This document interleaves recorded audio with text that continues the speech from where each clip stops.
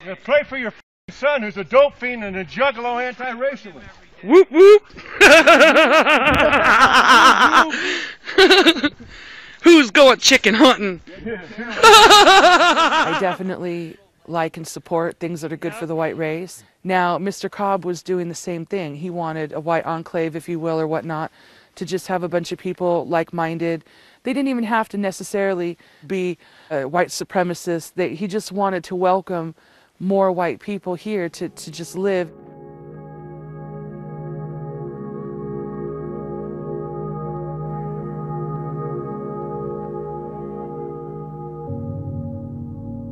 pretty much it's destroyed everybody's life that's peaceful out there in that town. There's only like about 16 to 24 people who we're not really sure exactly. We never have counted how many people are out there.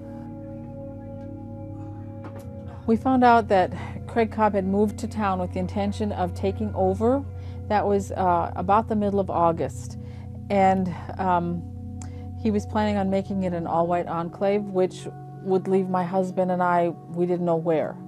It was a racial issue, and it was something that was really concerning because I was the only black in town. Craig Cobb is a white supremacist that is a fugitive from Canada, wanted on a fugitive warrant from Canada. He has done this his entire life. He's in his early 60s. He goes from country to country, gets kicked out, comes back, goes to another country. This is the problem. He spreads nothing but hate. He referred to my husband as a pet. He was my pet. He had said before, it's legal to have livestock in town here in Leith. He was referring to my husband. Livestock. Yeah, when we realized that nobody was going to help us, and we had to help ourselves. The people in, in Leith, they fought back.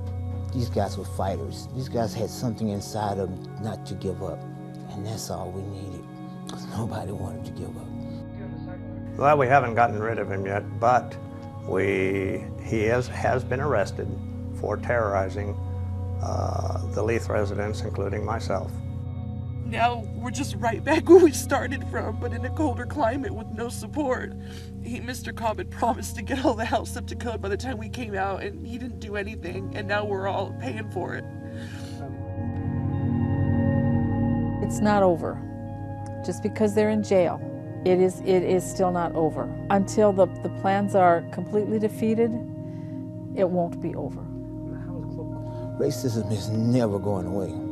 It's just one individual, you know. We got, we gonna toe this, this line for the rest of our lives. Everybody does.